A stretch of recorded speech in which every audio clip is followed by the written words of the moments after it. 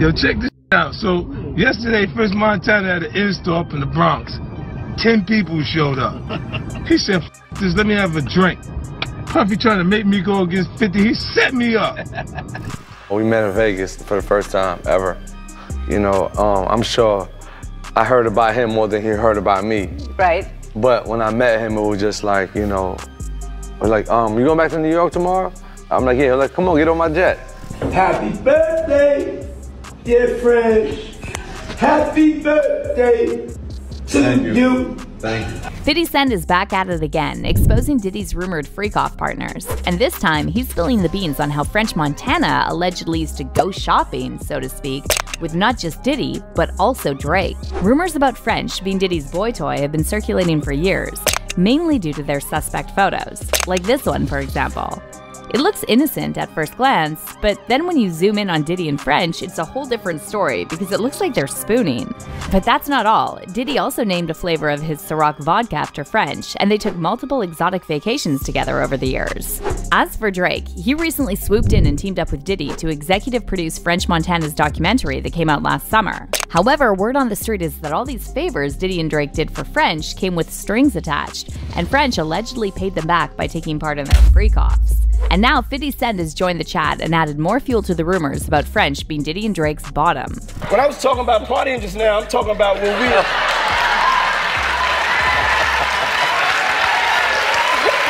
Yo, hold, hold on, hold on, hold on, hold on, hold on. Hold on, what's going on? Hey, I'm confused right now. Fresh rumors recently popped up, roping in French Montana in those disturbing allegations about Diddy using his position in the industry to recruit rappers into freak-offs. It's no secret that Diddy and French have been tight for years, and they sparked rumors on more than one occasion about being more than friends. So, to give you some background, French Montana was born in Casablanca, Morocco, and when he was 13, his family moved to New York City, setting up home in the South Bronx. After two years, his father decided to return to Morocco, but his mother chose to stay in the US with their children due to limited opportunities back home. During this time, she was pregnant with French's youngest brother, who was born shortly after his father's departure. With three kids to support, his mother relied on welfare, and French became the primary breadwinner for the family. In 2007, French released his debut mixtape, and after the success of his single Shot Caller, French caught Diddy's eye, and in 2011, he signed him to Bad Boy Records. When asked why he decided to sign French, Diddy said, It's obvious his work ethic, his song making, the effect he has on the youngins. If you ever been to one of his shows, every time he drops a record. Also, it's important. I'm from New York. I rep New York to the fullest. And for real, for real, can nothing move in this city without us being a part of it. Diddy also claimed he had big plans for French in his music. However, instead of working on his career, Diddy started taking French on exotic vacations and shopping trips. And it didn't take long before rumors started swirling that French was Diddy's new boy toy. Diddy was there next to French at every birthday party, and if you didn't know any better, you'd think they were a couple. Just last year, this video started making the rounds on social media, showing shirtless French sitting at a table and looking like he had baby oil on, while Diddy was serenading him with the happy birthday song. Happy birthday, dear French. Happy birthday to Thank you. you. Thank you. This is a special birthday for both of us. After this video went viral, many fans said it reminded them of Diddy singing Happy Birthday to Fabolous during that infamous Drink Champs episode. Birthday to you. Woo! Happy birthday to you. Woo! Happy birthday, dear Fabolous. By the way, after French started hanging out with Diddy, he started facing allegations of SA from multiple women. Over the years, several women have accused French of SA, drug facilitated SA, sexual battery, sexual harassment, and misconduct. In March 2020, he was accused of SAing an incapacitated woman at his former home in Hidden Hills, California. The woman alleged in the lawsuit that French and one of his associates, whose name was not revealed to the public, invited her to the studio where they supplied her with drugs and alcohol and SA'd her. The lawsuit reads Defendants were mixing and serving drinks to the plaintiff and the other women who came with her. Defendants controlled the drinks, providing excessive drinks and making sure the women were drinking. Defendants also were themselves drinking and using drugs.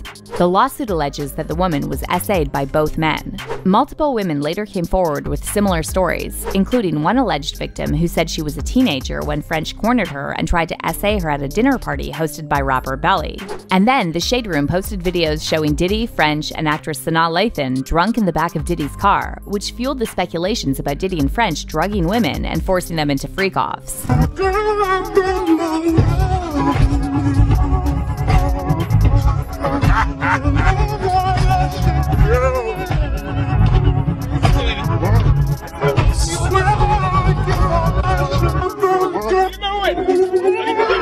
Meanwhile, French and Diddy grew even closer, and Diddy even decided to name a flavor of his Ciroc vodka after French.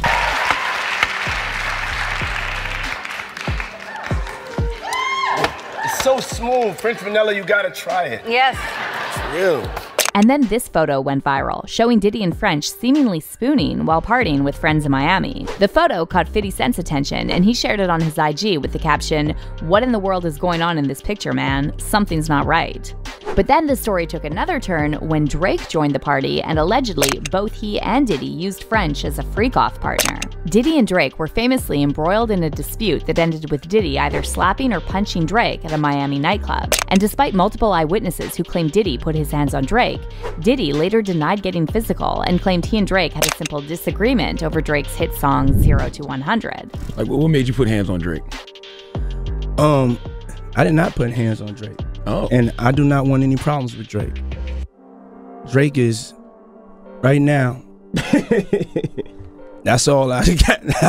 that's all I, I, have to say. He's putting in his work. I didn't put. I didn't do nothing to Drake. We not. Drake is my friend. However, after French later said he helped Diddy and Drake squash their beef, rumors started circulating that these two were actually feuding over their boy toy. You said that you uh, patched up that beef with Diddy and Drake. And um, when I got there, Drake was there waiting for me and and Puff had came in his own little boat, and that was the first time they met. Um, after they was going through the altercation, yeah. Yeah, but I was already talking to Puff before that. I was like, whatever y'all got going on, y'all, y'all need to dead that. They both like my best friends. So I'm like, y'all need, to dead that. Drake and Diddy really ended up squashing their beef after French intervened, and in April 2023, they announced they'd joined forces to executive produce a documentary about French and his humble beginnings, which came out the following June. But right around the time of the documentary's release, fans noticed that French started copying Drake's whole look. And after this photo went viral of Drake gazing into French's eyes, some fans said it looked like Diddy started sharing French with Drake. And now here comes 50 Cent again, fueling the fire and claiming French and Diddy have been doing more than just partying together. After 50 posted this shirtless photo of himself in a boxing stance, one of his followers commented, You should F French Montana. And then Fiddy responded, What the F you just say? I ain't with all that crazy what the F? You think I'm puffy? Diddy's comments recently resurfaced again amid allegations about Diddy recruiting rappers into freak-offs, and fans are convinced French was one of the many rumored boy toys Diddy signed to his label under the pretense of making music together. One fan said Frenchie had to get oiled up and get ready for all the birthday kisses Diddy was getting ready to give him. And someone else commented, I once heard French Montana say he'd do anything for fame. Diddy slid over like, I'm about to put that to the test. But how do you feel about all these rumors surrounding French Montana and Diddy? Do you think French was really passed between Diddy and Drake? Yeah, I mean, we know pretty much from everyone that Puffy signed, you know, from their own anecdotal stories and their own um what they've came out to say. Give me two seconds so I can place that. There we go. We know from everyone who's came out about Diddy, um, we know about his situation from those people. So, including the people who've also been on his label, including people like Mase, you know, people like this. And um, those people generally say that yes, the the stuff about Diddy is true. He's not, you know, he is a snake. He is a slimy guy, and um, he will make you compromise yourself to get in the in the position that you desire to be in most. And so could I see something like this? Would I put this past Diddy? No. Would I put this past French Montana? No. Because he signed to Diddy. And like I said, birds of a feather flock together. Anyone who's around Diddy or who's associated with Diddy, knowing the things that he's into, they're possibly into those same things or are allowing those same things to go on clearly or are okay with that going on, you know, which is all equivalent essentially. So, I mean, I wouldn't put it past them. Do I think it's you know what I mean? Do I think it's that? Um, yeah, I mean, there's been some really questionable photos of French and Diddy. And like I say, you guys, there's not that many coincidences in the universe. If he signed to the record label and we know Diddy's into freak offs and we know um pretty much everyone who ever has been around Diddy while he is in a position of power over them, you know, the only person who we've seen who wasn't in power around Diddy was 50 Cent. But everyone else who Diddy was in power when they were around, like he like he felt like he was the the powerful one there. They had to indulge in his freak offs. Like, you know what I mean? They had to indulge in what he asked for, you know? Especially if you're signed to his label. So um there's just no way that you that I could see that that didn't happen. You know what I mean? Like I definitely see that being the case. Um obviously, just like I said, anyone who would um associate with Diddy would be into similar things or would be allowing similar things to go on, which means that, you know, they have that same capability in them. You get what I'm saying? So yeah, um I mean, that's really it, you know? Um French Montana, he doesn't come off as a zesty dude, but that doesn't mean he's not a zesty dude. You know what I mean? Like I don't mean that. Um you know, I would never have guessed just instantly like, oh, that's what he's doing, that's what he's up to. Um, a lot of this is actually news to me. I didn't even know he was signed to Bad Boy, but um, those photos look mad odd. Them on vacations with Diddy, those are zesty photos. So something had to go down. Obviously, he went through the zesty door. He said he would do anything for fame. He probably went through the zesty door for fame. Why would I? I wouldn't put it past him. Um, so yeah, I mean, let me know y'all thoughts. Do y'all agree with the points that are brought up in this video? Do y'all disagree with the points that are brought up in this video? Let me know y'all thoughts in the comment section below. And do you agree with the points that I brought up in this video? Do you disagree with the points that I brought up in this video? Let me know your thoughts in the comments below. Um, but yeah, y'all. I mean, I mean, we've seen situations like this with Diddy. So for for it to be true is not far fetched. That's all I would really say. Like we've seen it with countless other rappers who we've talked about on this channel, countless other situations. Gene Deal, the bodyguard, has even exposed Diddy for a lot of his freak offs and a lot of crazy things around him and a lot of the situations around his name. So I'm just like, um, it's out there, you know what I mean? The knowledge and the information is out there and it's been exposed numerous times. So um that is what it is, you know what I mean? There's not really much else to break down when something is so clear. You know what I'm saying? When something is so clear and something is so blatant, there's not a lot to break to rip into there. It's so blatant, it's right in front of your face. There, it, it is that. You know what I'm saying? It is that. So, um,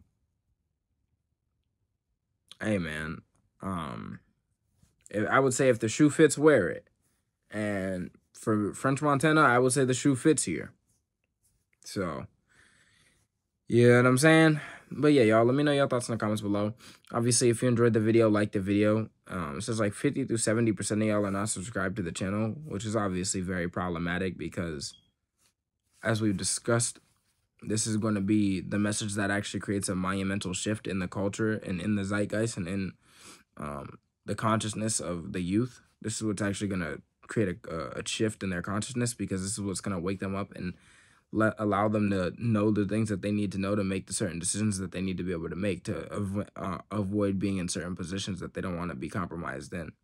You know what I'm saying? So this is all incredibly crucial. This is why I say if you have a brother or sister, um, a mom, a dad, an aunt, share the video because we can't just be greedy. We can't just keep the message for ourselves. We have to push this out. We have to enlighten everyone. You know what I mean? That's our job as the people to enlighten the people. And I can't do it alone. I can't do it all alone. Like, I need your help. I literally need your help. I need you to help. Like, you have to help. you know what I'm saying? Like, you can't just sit here and just, like, not help. You know what I mean? No, that's crazy. You have to help with the movement if you agree. Because it's going to fail if we don't all help for it to prosper. Like, you know what I mean? We have to all help for this to prosper for it to work. You know what I mean? Black Wall Street wasn't built by one person, bro. Like, we have to actually get logical with this. Black Wall Street was not built by one person. It had to be a group of people who consistently helped and consistently contributed. Not one day. No, every time they contributed. You know what I mean? Until it was a great monument. Until things were great. You know what I'm saying? So, um, that's the thing. So, it's all about consistency. It's all about support. It's all about community. All of these things will give us prosperity and will bring us to a higher position than we were all at before. So yeah, y'all. If you enjoyed the video, like the video. It's Noah's right here. Be easy, y'all.